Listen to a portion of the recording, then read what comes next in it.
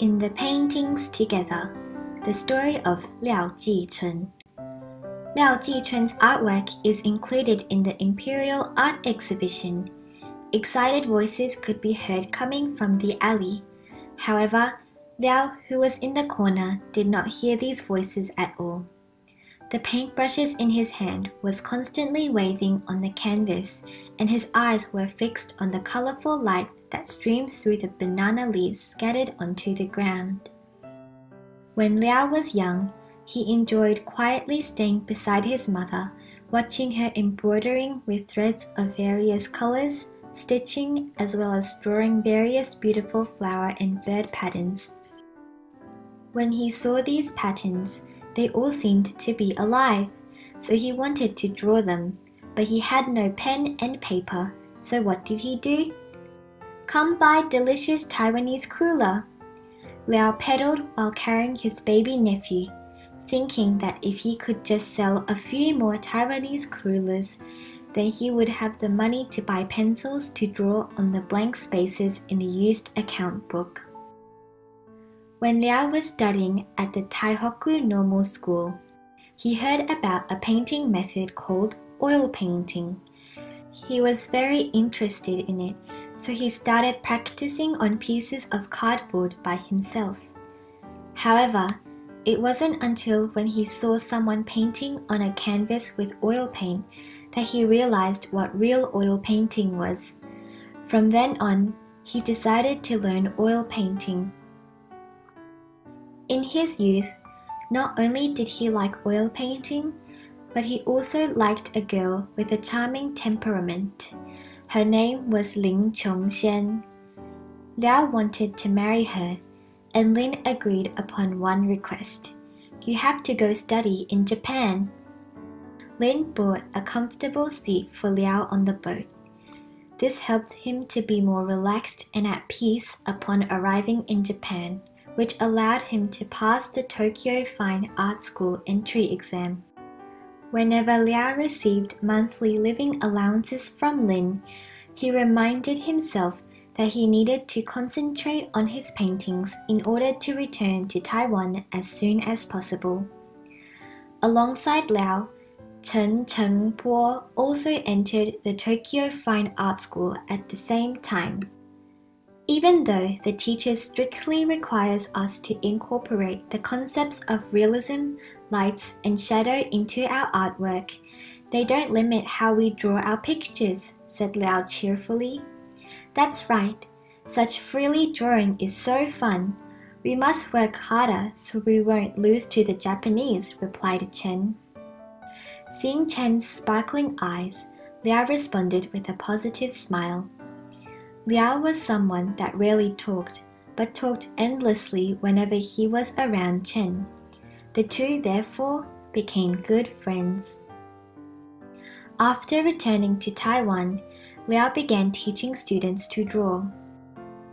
And at the same time, Liao was winning several awards for his oil painting and worked alongside other painters to promote the new art movement that increased Taiwanese appreciation for artwork. One time, he went nature sketching with Ryuzaburo Umehara. Swish, swish, swish.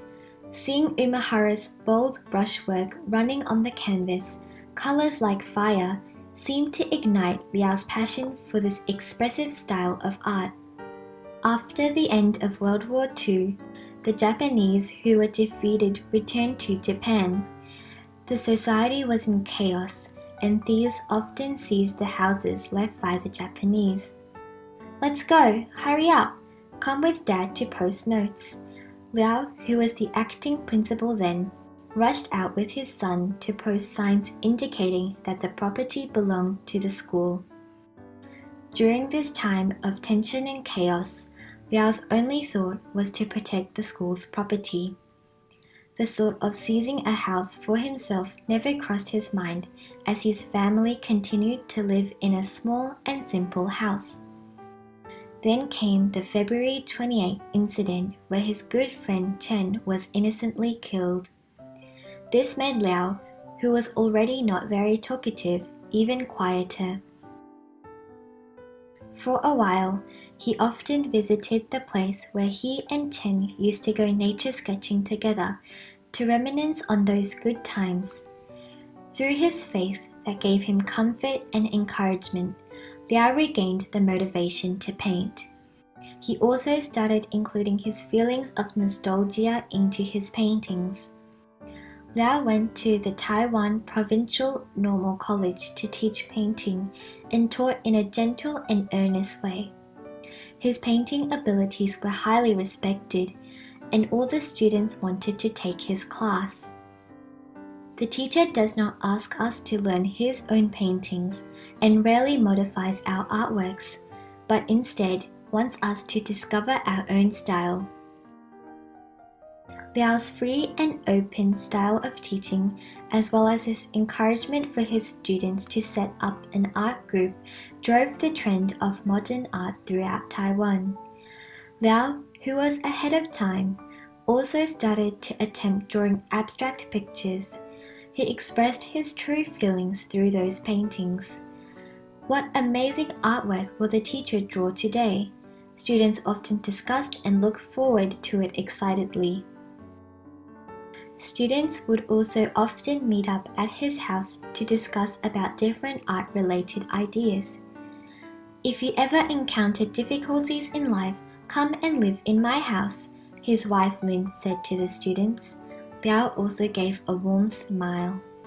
However, Liao, who often forgot about the time when he painted, also forgot that his students need to eat. Yes, this is not bad, Liao said to himself, full of satisfaction. That won't work. People won't understand this type of painting, Lin said from behind.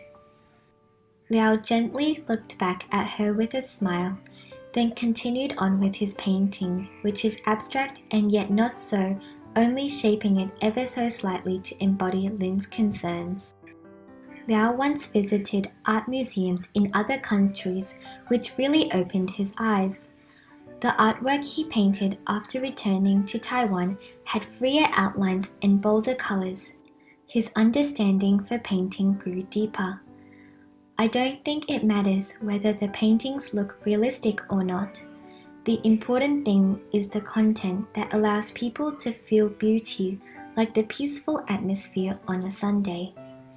Liao, who often drew sceneries of his family and home, created a painting in later years that included various birds and insects that rested in the forest at night with a peaceful atmosphere.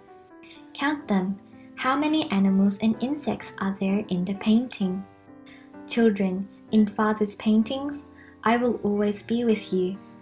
In this way, Liao Jichun's paintings continue to warmly guard his children and led the people who followed him and loved art. I am not good at talking. Instead, I use my paintings to express my thoughts. For me, painting can express my feelings more than anything else, said Liao Jichun.